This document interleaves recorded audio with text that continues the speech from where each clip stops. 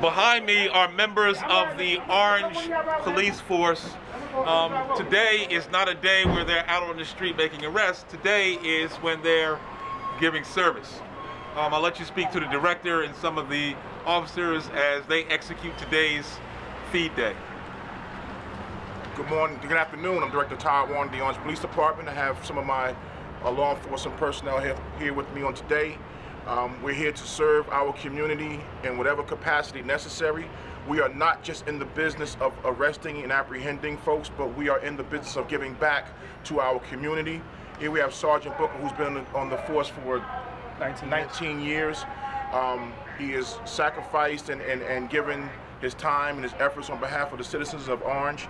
And we're just here thanking God for the opportunity to give back. Scripture says, what you do unto the least of these, you do also unto me. And we're here just to give back to our community, to those who are vulnerable, those who are in need. We're here to serve in any capacity necessary. And we just thank, we're thankful for the opportunity. And we thank Mayor Warren for his leadership during a global pandemic. Leadership, uh, crisis shows your character. It shows who and what you really are. And we're proud of Mayor Warren and we thank him for his leadership. Thank you.